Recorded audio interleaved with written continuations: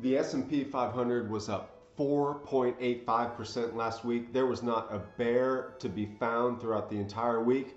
Really good week for the S&P 500 as far as the, the bulls are concerned. So it's the end of the month. We're going to go over where we finished up on the oscillators and then get into this week's operating plan. So we're going to cover a little bit more in depth than we uh, have been lately. And so let's get right into it. First things first, 12 month momentum. The S&P 500 finished positive. It was really close to finishing negative for the month, but it did not. And so that means we're still in a risk on sta uh, stature when it comes to this coming month in our longer term positions. Growth is still outpacing value and small caps are still underperforming according to large caps. And so we want to focus on our, the growth and then we want to focus on uh, large caps as well. So with that, let's look at the S&P 500 and then we'll talk a little bit about uh, the operating plan for this week. Here's a look at a weekly chart of the S&P 500. And a few things, three things to note right here. Number one, we held the trend line. The trend line is this black dotted line right here. Top of the trend, uh, top of the channel, excuse me, top of the channel and bottom of the channel.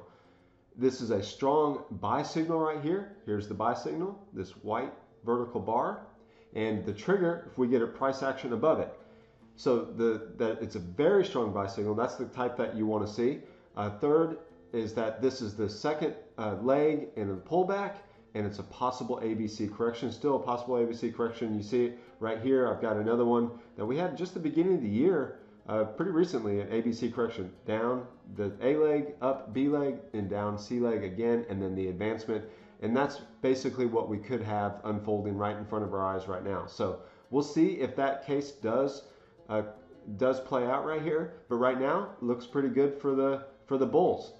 When it comes to the current positions in the portfolio, everything was up for the week. U.S. dollar was up, healthcare was up, uh, technology was up, large cap was up, and growth was up for the week. U.S. growth. So all that looks really good all those or most of those excuse me triggered uh, buy signals and so that falls in line with where we are in the S&P 500 look pretty good and they've held up relatively well against the S&P 500 so now the question is is what do we do this week? Of course we're going to continue to watch their current positions and even though we had a strong week this week in the S&P 500 and all the markets we're going to keep our stops, adjust our, or keep our stops exactly where they are, keep a close eye on them. So it doesn't mean that it's going to continue to go up, but uh, it does look good coming into this week.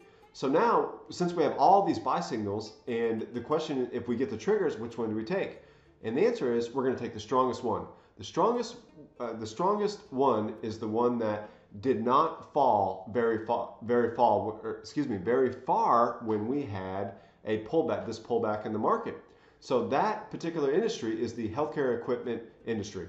That is the one that held up the best according to the ones that we watch. And so if we get a trigger this week in that one, then we will surely take it. So we have a, a, quite a bit of cash on the table right now. And so we're going to take some of that, put a little bit more risk on the table, and go from there.